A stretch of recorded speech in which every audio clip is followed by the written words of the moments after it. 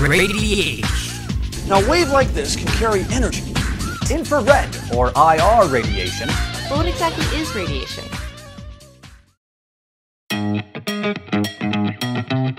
Radiation. Whether you know it or not, it's everywhere. It's in this radio. It's in this microwave. It's even in this cat. And no, it's probably not going to turn you into the Hulk. Today, we're going to be diving deep to discover what radiation is and how to determine if it's as bad as the movies make it seem.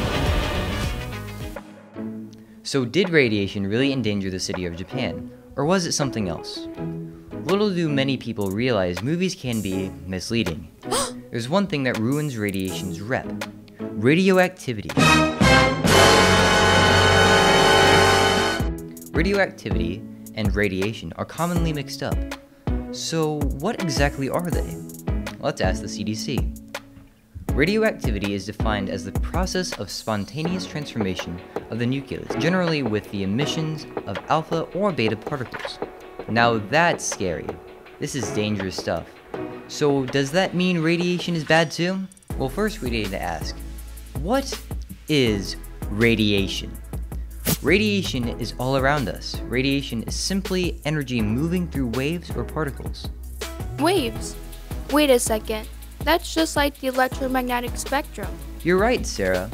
Now let's throw up this nifty chart called the electromagnetic spectrum. Now there's a whole bunch of stuff on here, so let's focus on the easy stuff, the waves. Right in the waves, man. Towards the left, we have these long waves, like radio and microwaves, that don't give off much energy. We call these low frequency waves non-ionizing radiation. Non-ionizing radiation can give off non-thermal, thermal, and optical effects. On the other hand, we have ionizing radiation. Ah! This is where we see X-rays and gamma rays. The end of the spectrum has short waves and gives off a lot of energy really quickly. This energy overload makes ionizing radiation dangerous.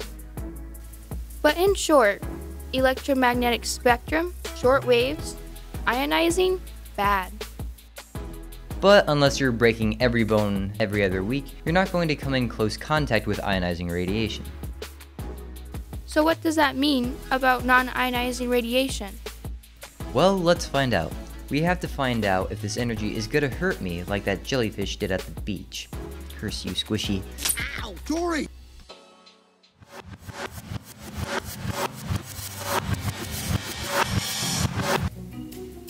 Now, let's descend.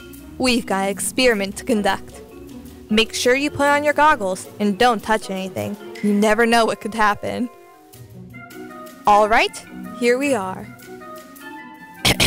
I said, here we are. Let there be light. As you can see, we have my assistant, Sarah, who will be helping demonstrate what radiation is. Everything is in place now. The real question is, Will she survive? all right? Let's turn up the heat. So right now, there is one light currently focused on Sarah. As you can probably observe, she's completely unharmed. Now, what if we increase it by tenfold? There is no obvious change, and she's still completely unharmed. Let's do it one more time. Will she survive? Sarah has 100 lights focused on her, and man, you can tell it's getting hotter. Now, let's really speed this up. A hundred thousand lights are focused on Sarah. Well, that was interesting.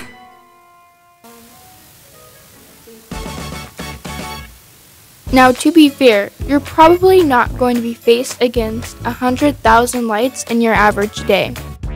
Unless you have an extreme multitude of non ionizing radiation, you're not going to melt away like I did. So, when posed with the myth, all radiation is bad, we're going to have to say, busted. With all the benefits radiation brings, like warming up our planet, giving us colors, helping us see our bones, and overall bringing a benefit to society. We can't say that radiation is bad, so we give radiation 8 Carl Sagan out of a Neil deGrasse Tyson.